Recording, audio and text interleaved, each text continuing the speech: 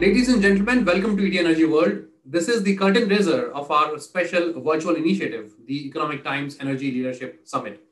This event has been conceptualized uh, with a very special vision uh, to develop a platform for the world leaders to come together and share views on some of the key trends and the most pressing issues in the larger energy domain. From the perspective of topics, its uh, agenda is uh, heavily tilted in favor of the unfolding um, energy transition agenda globally and in India. And that, of course, covers uh, renewable energy, green financing, oil and gas, electricity and e-mobility, uh, apart from energy storage and battery technology, digital transformation, and clean coal technologies. Over a period of two days, uh, that is 17th and 18th of June, uh, we will witness more than 40 leaders uh, and experts from the public and the private sectors uh, chart a roadmap for the new world order in energy as it is seen emerging on the backdrop of the economic recovery from the pandemic. I would now invite uh, some of these leaders to uh, share their thoughts on the agenda of the event and why they think it is important to talk about these subjects in their own experiences, share their understanding of leadership, and also share some thoughts on the key developments in their own industries. Thank you.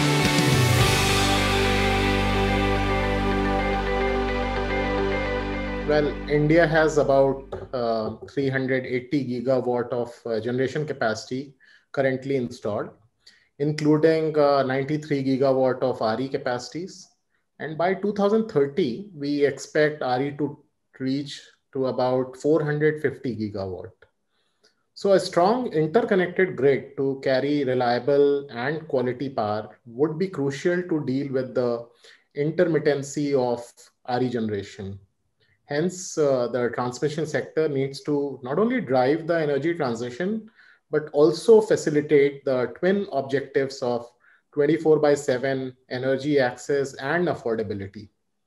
In the next few years, the power sector will have to move towards flexible transmission planning, freedom of design to promote innovation, greenfield projects together with capacity augmentation of existing transmission infrastructure, and also uh, energy storage solution.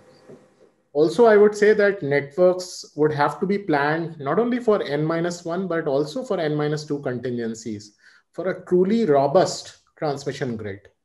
Planners should have an objective evaluation of transmission plans around key dimensions of time, space, and capital. Uh, so one of the biggest challenges for RE integration is that huge generation capacities are being added much faster than evacuation systems can be built. And uh, the goal is to build transmission lines that consume the least right of way, commissioned in matching timeframes of RE projects, and with the availability of efficient capital, resulting in the least cost of supply solutions are available to build lines with higher line capacities at higher voltages using ROW, lesser ROW, and for enabling faster execution of projects, for example, using aviation technologies in construction. Through a conducive policy and regulatory framework which is open to new technology adoption, it is possible to accelerate the adoption of these solutions and get better results. So it is the responsibility of all stakeholders to not only plan well, but also to make sure that projects get commissioned as per plan on time.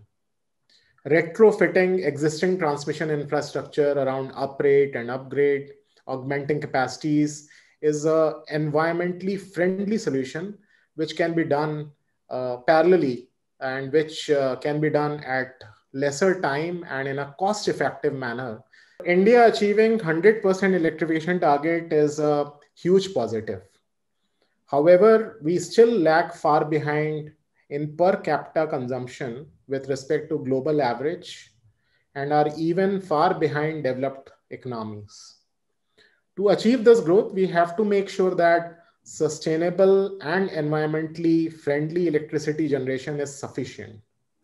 Transmission and sub-transmission network should be robust and sufficient for all variation and contingencies. Importantly, the distribution network, which is the last mile, must be capable and efficient enough to provide 24 by 7 reliable and affordable electricity to every citizen of the country. While a lot is being done for the generation and EHV transmission infrastructure, it is the sub-transmission and distribution network which remains suboptimal.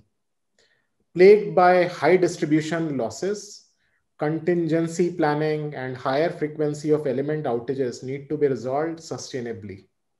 Hence, I would say, Sudhir, both bottom up and top down planning needs to be carried out in a coordinated manner to ensure that network is optimized with respect to load and generation growth.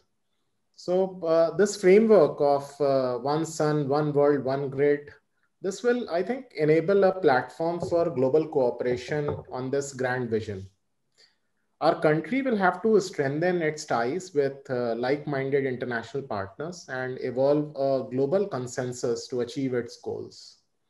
And once the consensus is evolved, there will have to be standardization of cross-border regulatory and interconnecting standards. And there will be need to have a clear roadmap and long-term agreements with member countries to ensure implementation.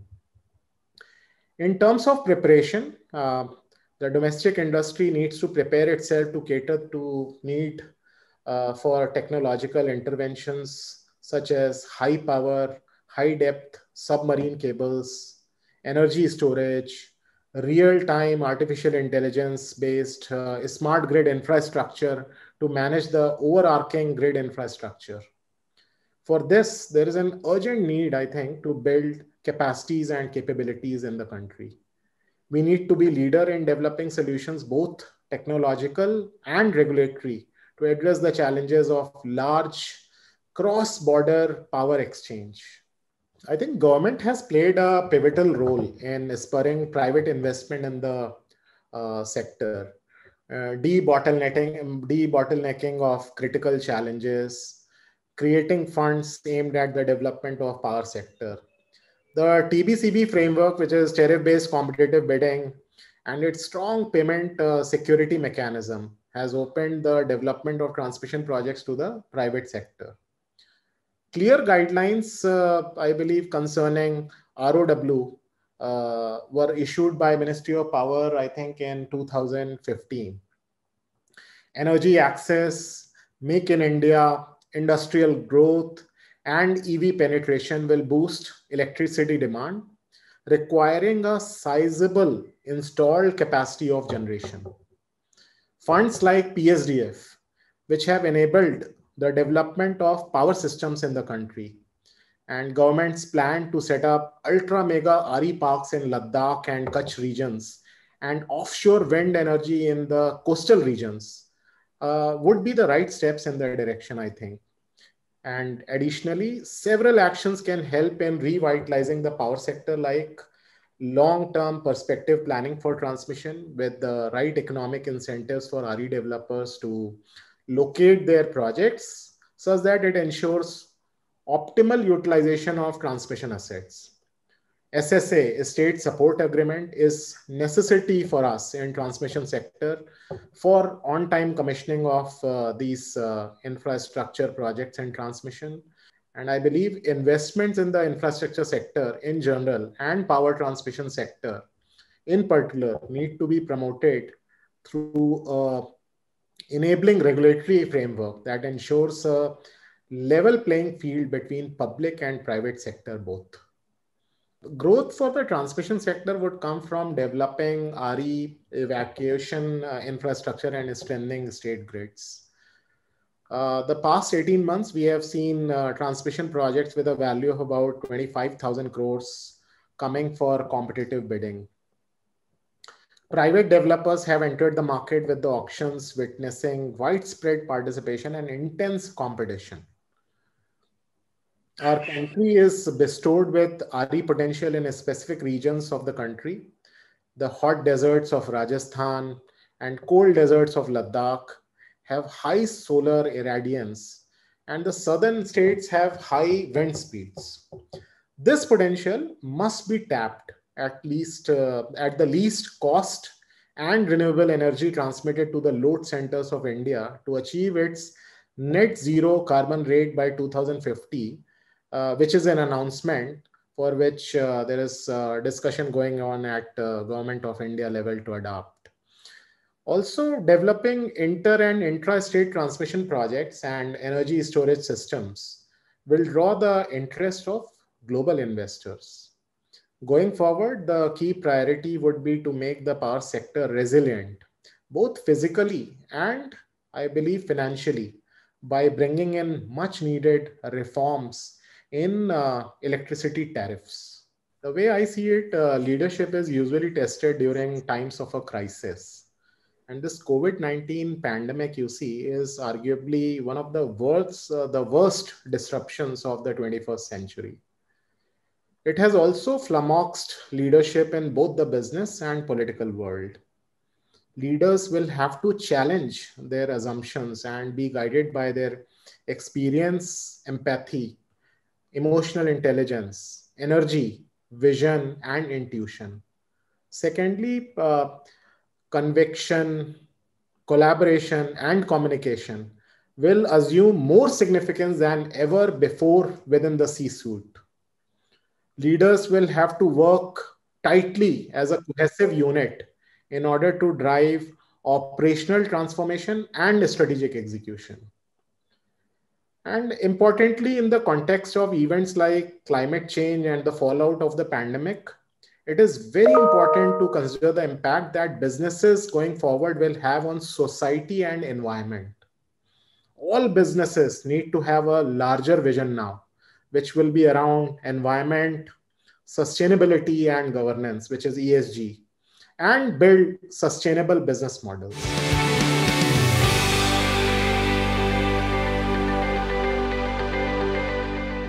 Hello, hi, and I'm very happy to be here and speak with you, and thank you for the opportunity. The biggest challenge of energy leaders today is to build around digital transformation is how to build their technology roadmap and, and the right blend using different tools. As we know, at the end of the day, the goal of any uh, energy company and utility company is to build a safe network and to grow the business in a safe manner and an efficient manner. And, and in, in order to do so, definitely technology can help. And more specifically, the use of digital tools can be play a significant role in this journey, in this effort. Now, uh, energy companies are, some, you know, they can be, be in operation for decades and there are a lot of things that can be improved, a lot of new technologies that are being presented to the industry. And the question is at the end of the day is, as a leader, is look at all the technologies that are available on the one hand. And some of them are well proven, some of them are maybe more like uh, long-term initiatives. So you have this on the one hand. And on the other hand, you're looking at the company and all the processes that are in place, a lot of legacy tools and stuff like this, and how to blend between the two. How to come up with a roadmap that will help me to see uh, a short-term return on the investment in terms of, of, the efficiency, safety, increasing the safety of the network, and so on and so forth. But also looking a little bit long-term in more, I would say, strategic uh, uh, initiatives. So I think it's very clear that the energy sector is heading to a more distributed network on the one hand, and a different mix of resources that are going to play in this uh, in this blend. And at the end of the day, if you look at the network uh, of any energy company, or, or if we look, we look at, the, at the households, at the end of the day, they are going to get energy from different resources. Uh, and it's going to be, might, and it, maybe it will be a two-way process. It will be uh, also generating uh, energy and also buying and selling for the network. And, and at the end of the day is how can I make sure that I have the, the tools and the data to support this type of uh, mix and this type of distributed model. As we know, there are a lot of investments that are now happening specifically in India around gas, not only in India, but in India around gas infrastructure, both on the distribution, the CGD business, as well as the transportation high pressure, pressure pipeline project. And at the end of the day, the goal of all the players in the industry is to make sure that they are building a safe network on time and on budget. This is the goal all of them are spending or will be spending a lot of billions and billions of, of dollars in building the network in the next decade. And, and, a lot of the network is going to be built by third parties, contractors that are going to build on the behalf of the CGD on the behalf of, of, of the transportation company. But how can we make sure that the field crews that are building the network on the behalf of the energy company will do it in a, in a safe manner and will provide us with all the data that we need. First, to make sure that the infrastructure is safe, that we have all the data about the assets that were installed in order to support the future needs. And also, of course, looking in terms of financial resources, reconciliation of the asset, and general uh, project management tools. And I think that in this case, uh, technology can play a, a, great role. And I can tell you that more specifically, this is what our company does. What we did over the past uh, five to six years, we built a technology that really focused around gas and energy in general, infrastructure construction, and building a platform to close this gap and to enable some of the largest utilities in the US to manage the entire construction project end to end from the design, the initiation of the project. When you know what you want to build, you have the budget, you have the design through the actual ex execution in the field, the as built, the as made that is being done during construction, and the project close out at the end of the day. I think, as you know, we are Israeli American technology company. We are on the Israeli side. We came with the technology and the R&D, and then we had a strong U.S.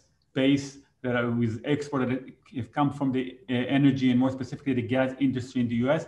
And together, we really try to come up with a solution that will help some of the largest U.S. utilities to manage their construction and capital project, as I mentioned, and really take the, work with them as our design partners in this journey of digital transformation. Now, when you're talking about com- with companies that already have millions of miles of assets that are already buried in the underground, they have really they don't have enough data. This is why they are doing a lot of they have a lot of initiatives that their goal is to increase data integrity and also, of course, replacements and, and, and repairs of the network. I think that in this, uh, in, in, in the, if you look at India today, they have the privilege to build their network almost from scratch, but also to start from day one you, and to use the tools that are today are available and you can put it in the hand of the field crews in order to make sure that the job is done today on time, as I said, on budget, in a safe manner, and to make sure that they have all the data that they need to, for the next decade or two decades uh, moving forward. Uh, thanks, Yair. Uh, thanks for those uh, comments, and it's always a pleasure to talk to you. I remember when we, we were talking about uh, this entire issue last time, also a few months back, and uh, that time also you were saying that how critical time is, right? because we have, as a country, we have to make the decision to choose the right things for us in that in this phase of expansion now, right? Because if we if we don't do it now, to, tomorrow when the that development has happened and projects have come up right? We won't have the time to go back and correct things, right? Uh, so so time is now to make the decision. That's uh, exactly. uh, that that was my key takeaway from from that time, and and, and, and I can tell you, and I can tell you that during COVID, despite all the really uh, um, uh, the, the, situation, it is not easy for everyone worldwide, and specifically in India these days. I can tell you that during COVID, we deployed our technology and support pretty large projects in India during COVID uh, remotely and with physical presence of our team uh, because uh, I think both us and of course our partners, our local partners, the company that we are working with, understand that this is time to do it and we were able to deploy our technology to production with large players in the industry during COVID because of the understanding of both sides. Yes, it's not going to be easy. There are restrictions, there are a lot of challenges that we need to meet, but this is the time to do it and I'm very happy that we did it and, and we put the extra effort. We had a great local support and great partners in India, and we're able to deploy the technology into production in large scale during COVID. And it's exactly because what you said, the understanding of it, it's this is the time. We can't wait because this is something that the, these assets are going to be uh, going to be. We're going to use them for the next 50 years. So uh, again, COVID, it, it's tough times, and we hope for the best that uh, it will get better. Uh, in India and worldwide, but we want to make sure that we're doing what we can without, of course, uh, taking too much of a risk you know, to make sure that we will have what we need moving forward as well. So we are here and we are happy to support the local efforts and, and, and we are honored actually to do it uh, with, with the great partners that we have in the country.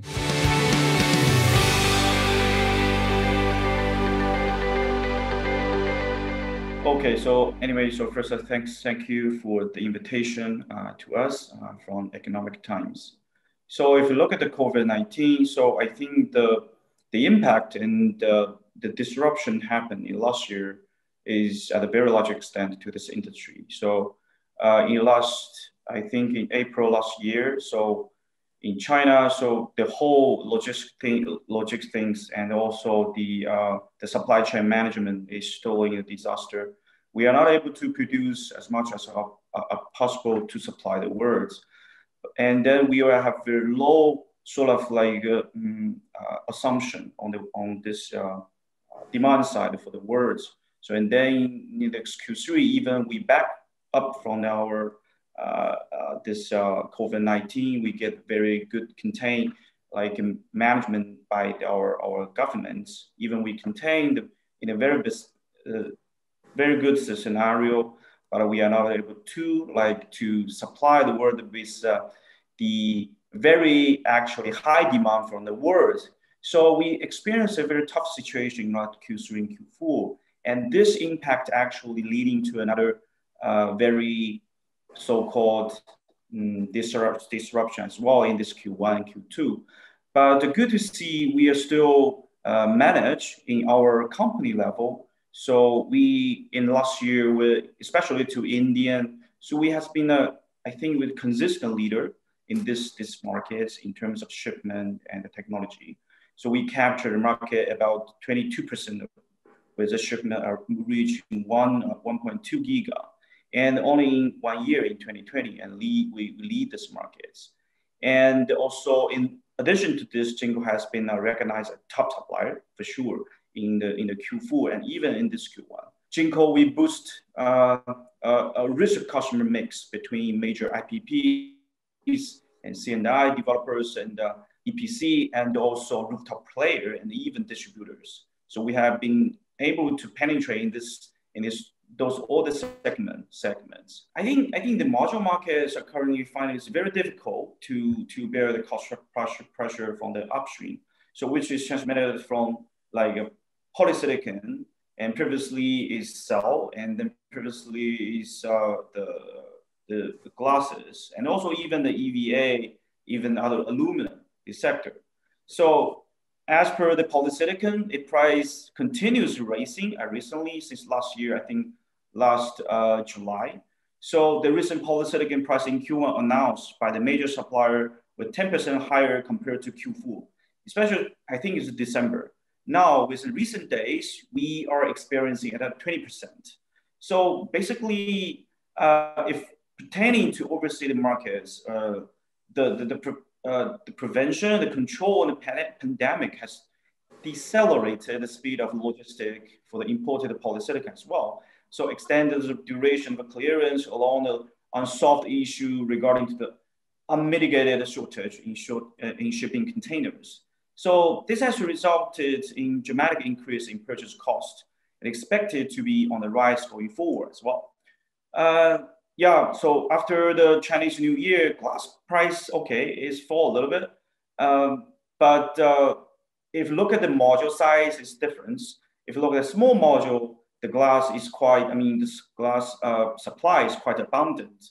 But if you look at what we are advocating is 182 millimeter wafer size for this kind of module, I think the glass shortage will be there for, for the next uh, one to two quarters again. So, uh, but anyway, as a top su uh, supplier for module in, in, the in the world, we are in a better position compared to other uh, module makers because we have the full supply chain and we have the full value chain. We manufacture the wafer by ourselves and the cell and the module for sure. Basically is actually paradigm shift in the uh, Indian solar program. Several global investors have made a very conscious choice to invest in India and look at the pro progress of the, uh, the policies. The IPP are always willing to take risk by offering lower tariff and they also meet the renewable energy targets in India. So bidder after bid. So they could only achieve such a low tariff due to certain positive and supportive. So for the BCD will be kicking for sure. Maybe April 1st, I'm not sure, but maybe for extended for, for uh, one quarter or even two quarters because the uh, COVID-19. So I think the government should be balanced between the lower tariff of the electricity of solar, solar power plants, or they need to boost it up for this uh, solar manufacturer based in, in India. So we, for China, we are not balanced with by one day. So we have done this for the last 10 years to do the balance. If you look at the demands, I think uh, mm, even after this price surge in the past three quarters, but the demands from US and demands from uh, Europe, Australia, Latin America, and the India are remain remaining a very strong level. So especially in US and Europe, because of the penetration of the rooftop and the CNI project, they have very high PPA price. So they are able to bear the cost of the module cost of surge. And also in India, because we have a lot of legacy project from 2020, we have to be, uh, this, those projects has to be commit, commissioned in this year. And also before the kicking of the BCD, tons of demands, they want to be allocated during this time frame. So uh, demand side is, is quite abundant from my side. And uh, for supply side, so if it will be very, very interesting because now if you look at the structure of the supplier of the module, so tier one, they're sitting in the better position in terms of cost structure and in terms of capacity as well as technology advancements, the capability to, to renew their technology uh, capability. But the tier two, they have less capacity and the short-term value chain in this in this segment. So they are maybe not able to sustain in this kind of uh, market. So uh, we are keen to see to what going to be happening in 2021 and 2022 going forward. I think within the next three to four years, uh, the market will be sort of like polarized. So the top tier module supplier, we enjoy uh, the development and the boosting up of the energy sector, new sector. But the others, uh, they will be a little bit suffering. It's very good to see like Indian renewable energy market now is adopting the new technology. I mean, in terms of solar, so high efficiency and technology now, which it allow low maintenance cost at first, and also overall lower LCOE to meet this like high RR demands in India. Because anyway, the uh, the capex in India is low, but on the other hand, uh, bank they're asking for higher rates uh, for the for the lending cost. So anyway, among wind and hydro, various new turbine um, frames has been adopted as well. So which also lead to the overall improvement to capex and the opex. So talking about solar, especially, especially almost all the major top tier panel ma are now offering mono PERC technology and as well as the bifacial technology. So even use the latest 182 millimeter wafer technology to this market. Almost over 90% of the IPPs and EPCs, they're considering such innovative, innovative uh, technologies which has pushed the tariff to historical low level, coupled with this, this, this acceptance of tracker technology is also gaining prominence, leading to the better year. And also innovations in robotic cleaning system are also helping in this case as well. So looking into next two to three years time, the N-type wafer and also TOPCon cell technology will be the two evolutionary uh, factor for pushing down the solar cost as well. For our new technology, first let us, I mean, speak of the wafer. So uh, in 2020, so we were advocating with other top tier manufacturer for the 182 millimeter wafers.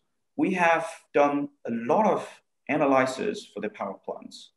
We talked to the IPP, we talked to the EPC, and also the tracker company and the structure company, and all, as well as uh, the inverter company. We found out 182 millimeter wafer is the best choice and and so far for the power plant to lower the cost. So uh, to be honest, it's not a, a very innovative and re- revolutionary technology for the cell. The, but this new size, we created very new space for the cost down for the total uh, capex, as well as the this uh, uh the tariff.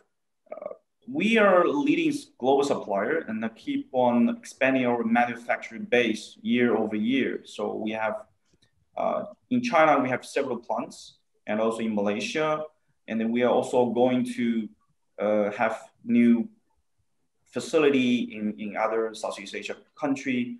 And we already have 400 megawatts capacity in US even. So now we are evaluating the recent change in India renewable energy policies and sure and solar module uh, import framework. Uh, and at a very and at a very appropriate time, so we will take a call on this for this manu- local manufacturing points. But we are drafting the proposal uh, to our boards and they're asking for the clarification also from the MNRE. Uh, I think basically a Chinese module fact factor or uh, sorry, the Chinese module manufacturer makers, we need a very stable policy and uh, better support from infrastructure and also the balance between the state governments and also from the uh, central government. So because investing uh, manufacturing base is not for five years. So we are talking about 10 years operation in this country and even 20 years operation in this, in this country. So we need to think more thoroughly and comprehensively.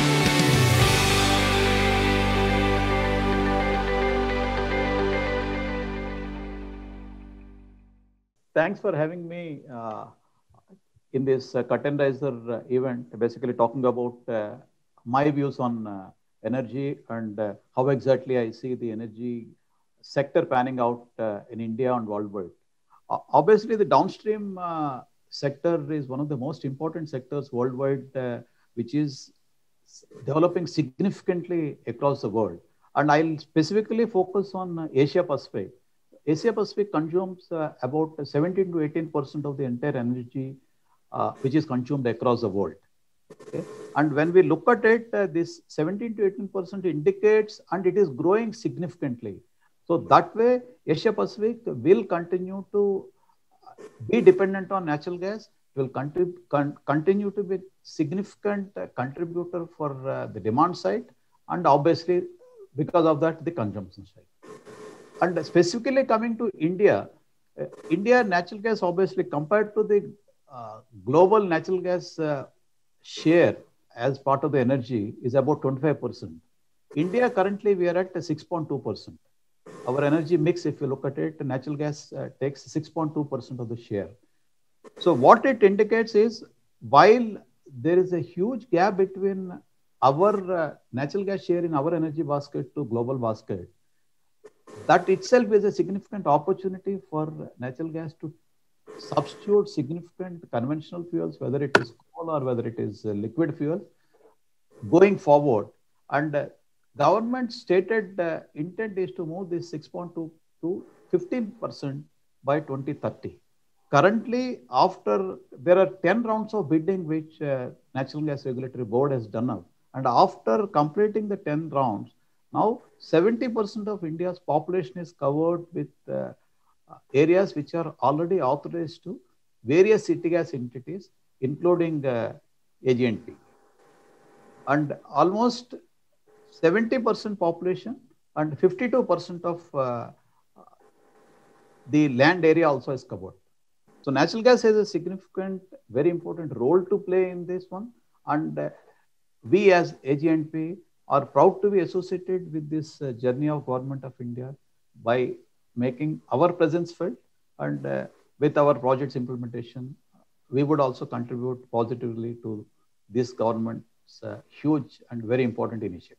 The first and foremost important uh, trend which is emerging is till couple of years back, the entire natural gas uh, consumption or the transport is driven through trunk pipelines So conventionally, most of the producing points were connected through trunk pipelines and uh, then the city gas distribution centers, all the consumption points were linked to the pipeline. And uh, obviously, we do realize that uh, laying trunk pipelines across India is a time-consuming job, and government has quickly realized to get to the accelerated targets which government is looking at. The way it can move forward is to ramp up the upstream infrastructure. When I say upstream infrastructure, in addition to the local production of oil and gas, they've started focusing on import of natural gas through LNG terminals. So significant impetus was given to development of LNG terminals, which a couple of them are almost on the verge of commissioning, couple of them are already commissioned, and more and more uh, terminals, including uh, AG&P's own uh, plant terminal in Karaikal also is going to be commissioned. This will add significantly to the kitty of making more and more natural gas available in the, in the country. Significant technology trends are emerging where rather than moving entire molecule through trunk pipelines, we have now moved significantly forward in terms of LNG logistics where truck-based, LNG truck-based uh, molecule transport has become order of the day. Like uh, we, we ourselves as AG&P were leaders in LNG technologies across the world. We are implementing our LNG terminal. Along with LNG terminal, uh, we have also won 31 districts uh, for city gas distribution development. These 31 districts are spread across uh, five states of India, which is Rajasthan, Andhra Pradesh, Tamil Nadu, Kerala, and Karnataka. All these areas are almost combined areas of this is 2,85,000 square kilometers area, which constitutes 8% of India's land mass. See, every energy transition is a huge opportunity for uh, the entire uh, society because ultimately society will benefit the investors investor investor community and obviously the governments. Everyone every stakeholder in the entire uh, during the energy transition wins. What we need to do is this energy transition needs to be done in a sustainable way without uh, impacting the environment in a uh, any adverse way. And luckily what in the energy space, what we're talking about, natural gas is one of the most environmentally friendly and uh, safe fuels. So whatever project at accelerated pace you bring in in this energy transition is going to aid significantly to all the stakeholders involved. In fact, government of India, because of some public health concerns, has started putting huge focus on replacing all the fuels with natural gas. And as a result of that, the CGD bidding also is getting accelerated. This sector and obviously any sector. So when we look at specifically city gas sector, I had mentioned that entire uh, AG&P's business plans are based on LNG terminals, based on uh, LNG store, transporting through LNG trucks, uh, storing at hundreds of uh, locations across uh, these states, uh, LNG, small LNG storages, and then moving it through various means to the customers. Okay. In the entire business process, okay, the technology plays a significant role because from LNG terminal to LNG individual storages, okay, all these storages are connected uh, uh, through technology to a central server where the levels in each of the tanks would be need to be 24 by 7 monitored at a control room, which we'll be doing. Okay. Why this is relevant is with this technology, we would be able to, this is part one. Part two is all the LNG trucks would be tracked on road on their uh, safety moment as well as at what pace they're moving and where exactly they are there. This is second point. So from the terminal, our control rooms would be located at each of the terminal, outside the terminal, okay? And from there, based on the real-time data where the storage uh, is getting depleted fast because there is a downstream consumption, we would be able to divert our trucks on a real-time basis to that specific location so that we'll be able to optimize our capital expenditure as well as running out of uh, liquid at a specific location. So we'd be able to divert trucks uh, on a real-time basis based on that. That is uh, in terms of the upstream up to the storage point. On downstream of that, all the connectors, industrial customers are uh, actually connected through GPS uh, to our control room where their consumption is tracked 24 by 7. Now, in terms of safety, most of these LNG, LNG plants which we are going to have are going to be connected to uh, local control rooms where uh, the remote operations would be able to do in case of uh, some gas leakage or something. So that will improve your safety and security of the installation and uh, surrounding public also would be uh, positively benefited with that. So the technology in uh, improving the safety, security, as well as the storage and capital capex optimization, as well as the cost savings primarily because huge travel movement to lakhs and lakhs of customers' homes every once in a month. Everything is avoided once you go through the digitization. So there is a huge focus in uh, this sector for uh, digitization and automation, which will improve uh, the business cycle efficiency significantly. Yeah, but when I look at leadership, I look at leadership across the entire value chain where each and every stakeholder has a role to play and a leadership role to play. It's just not only support role, it's a leadership role. I'll, I'll actually clarify why I'm saying everyone in the value chain has a role to play. Is like in this hydrocarbon sector, the central government India has a huge leadership role to play in looking at uh, macroeconomics of the sector and uh, where exactly natural gas uh, needs to be made available.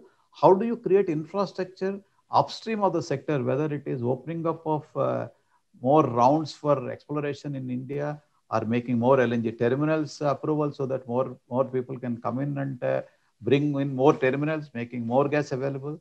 This is where central government can play uh, in terms of the planning as well as a structured regulatory mechanism to ensure that the sector is properly managed, regulated uh, with uh, absolutely non-discriminatory opportunities to both the private and the public enterprises, not only Indian players as well as multinational players, so that you need to create the comfort as well as confidence to the investors that the long term, as a long term player, they have future in India in uh, making uh, their businesses in India and they will be allowed to have consistency of policies is one confidence booster for uh, now when it comes to the individual investors when the investors come in whatever is being committed as the project uh, pace at which it needs to be implemented.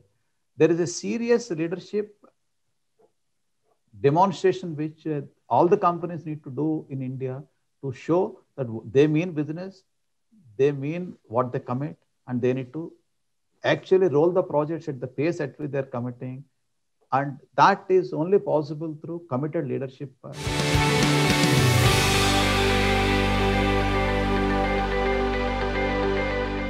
at the outset, I must congratulate ET Energy World and all your partners for organizing this particular event of great importance in the present context where we are running out of time to control the climate change. So first of all, let us note that we have a large scale energy transition and disruption already happening. Uh, globally throughout the world, uh, especially uh, you know those who are really uh, aware and uh, you know concerned, etc. If I talk of solar, solar is moving from gigawatts to terawatts. Today we are already at uh, 734 gigawatts, and we expect, and this pandemic year we have added 107 gigawatts. So uh, we expect all these pace to go up. And uh, the uh, terawatts and maybe uh, more of solar will always be there. And solar has been reckoned as the most important source uh, in all the future development, which also we will touch. And let us not underestimate wind energy as well. In wind has also uh, today the capacity of 743 gigawatts. So they are also doing well. Uh, uh, we should equally support. And in this disruption, number one, the prices have come down. How can, can we ever imagine two cents? Just uh, think five years ago, just think 10 years ago, two cents uh, the energy is available. And it is going to be less even as we go further. Then storage in a big way is going to play important role globally. And storage costs have also come down, though they need to come out much more.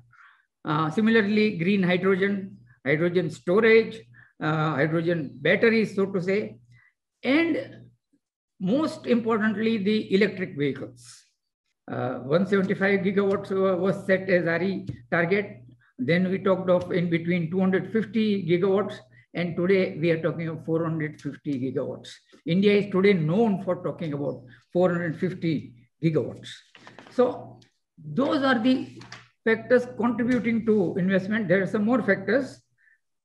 As an investment destination, India is considered good. You know why I move around the world and uh, because there are well-established institutions. And also equally important, there are successful Indian entrepreneurs, you know, uh, who are our members. For instance, Renew, Acme, Tata, Adani, uh, the, you know, they're all uh, examples for the world to see that yes, in India you can grow. And we also had direct foreign also like uh, Fortum, SoftBank, hmm, uh, etc. So awareness of what is happening around the world is a very important step uh, leading to good leadership uh, action in uh, his own place. You see, energy system has to be totally overhauled. We cannot have the present uh, inefficient grid uh, we cannot have uh, the present, uh, you know, emissions apart from inefficiency. So the next disruption is going to be decentralized energy. And also I say that we'll have technology playing a very important role. Apart from everything else, uh, storage technologies, for instance, digital is going to play a very important role beyond any doubt energy storage also, uh, uh, the digital part is going to play important role because you know all parameters have to be properly monitored and measured. I must say that political leadership is the important uh, part. Then the rest of the people will follow. They will be encouraged. Investment follows policy. So if your policy is all right, people will come. But then implementation is equally important.